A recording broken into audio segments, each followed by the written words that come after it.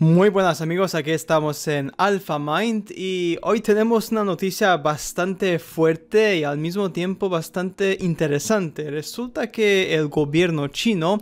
en específico en la región de Chengdu, en China, que tiene una población de unos 14 millones de personas, o sea, un número tremendo, quieren pues eh, poner en marcha un proyecto en el cual quieren lanzar al espacio un eh, satélite tipo con forma lunar o con forma de luna más o menos, eh, para que ilumine, digamos, la ciudad. Este satélite básicamente sería un satélite de artificial, una luna artificial que iluminaría la ciudad de noche ¿de acuerdo? Y esto pues eh, se realizaría con lo que es reflejar la luz del sol en, en, los paneles de este satélite gigante y este al mismo tiempo pues reflejaría lo que es la luz en el suelo en el suelo de la Tierra en esta región.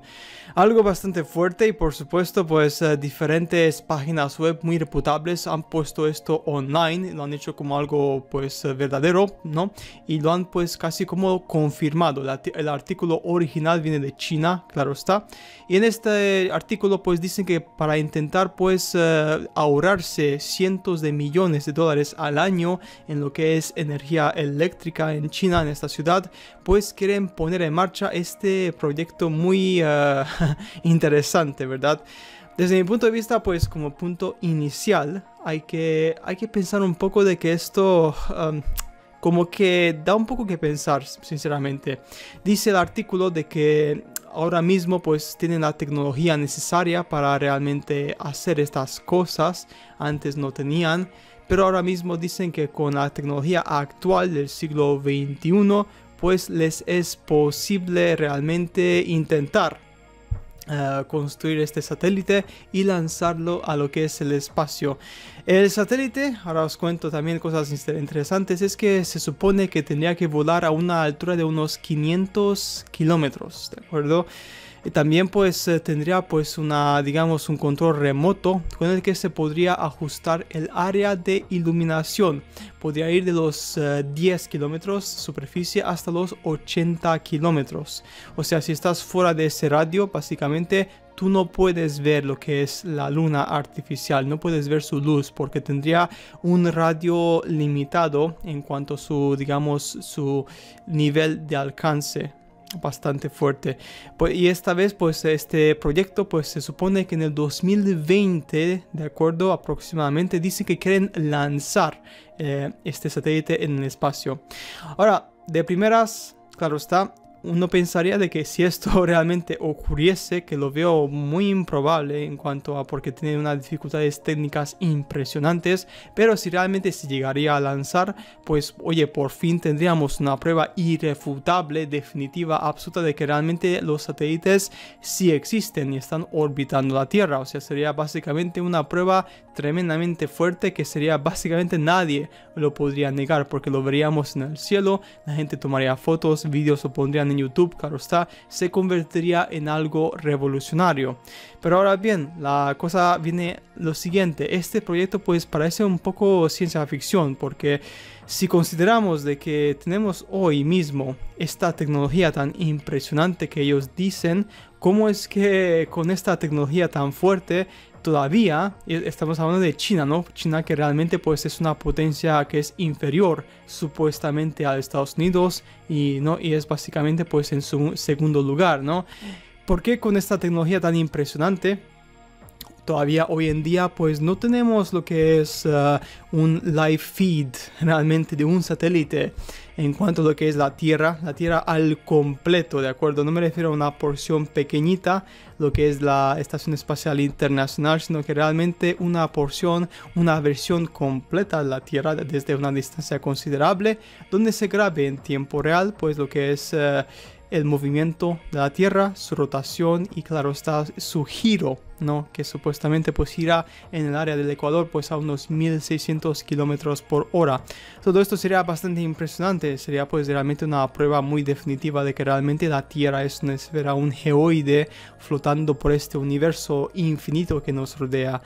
Pero sí, es interesante este proyecto y yo le veo mucho, mucho interés, lo estaré siguiendo más adelante para ver si esto realmente se convierte o no en una realidad o es simplemente otro, otro digamos, otra excusa o mejor dicho, pues una, un anuncio para eh, exaltar a la gente, pero se queda en eso, un anuncio simplemente para emocionar a las personas, para por supuesto pensar de que estamos eh, dominando el espacio cuando no lo es. Algo interesante de este proyecto es que, claro, un problema muy grande sería de que la biodiversidad, la vida natural, pues podría estar más bastante afectada en cuanto a lo que es eh, el ambiente, ¿no? Porque cuando tú tienes pues plantas, tienes animales, tienes seres vivos, orgánicos que están viviendo, ¿no? Pues estos están sujetos a un ciclo de luz y noche.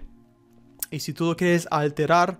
pues lo más probable es que esto conlleve a que estas plantas no tengan un estrés bastante fuerte y los animales sus ciclos de sueño y de dormir y de vivir se ven bastante afectados, ¿no? Dice realmente de que el ángulo, lo que es la iluminación, sería de unos 80 kilómetros a lo máximo, pero claro está, en esa región pues todavía habría vida animal, ¿no? Y da que pensar un poco, da que pensar un poco lo que es el impacto que esto causaría en nuestro mundo, no solamente en la vida animal, sino que en la vida real de la gente y si se diera lugar, pues realmente ya estaríamos eh, encaminados a lo que es pues la siguiente evolución del ser humano en cuanto a la utilización de la luz natural y eh, digamos irnos fuera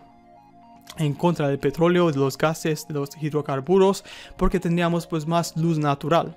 Bruce Hunt, un profesor asociado de la Universidad de Texas, eh, de acuerdo en, eh, en Austin, pues eh, contó en NBC News de que realmente él tiene bastante escepticismo en cuanto a este proyecto porque no se sabe nada más sobre él, no se anunció pues realmente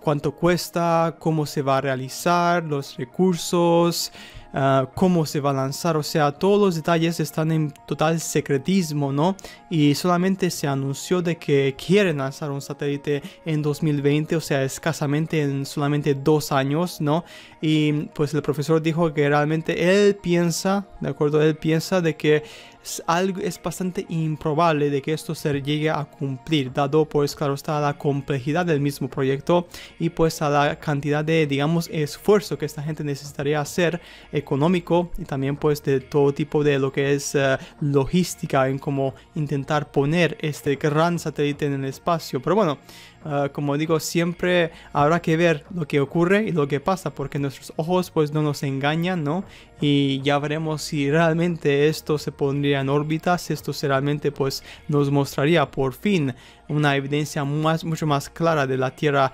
globo, ¿no? O mejor dicho, pues la existencia de satélites en el espacio infinito que están rondando infinitamente nuestra Tierra de manera ah, constante y hay miles y miles supuestamente, pues esto sería como digo antes y así pues terminamos este video programa, sería pues una prueba bastante fuerte y definitiva de que los satélites pues sí existen. Pero ya veremos amigos y aquí acabamos este corto video programa pero al mismo tiempo bastante interesante.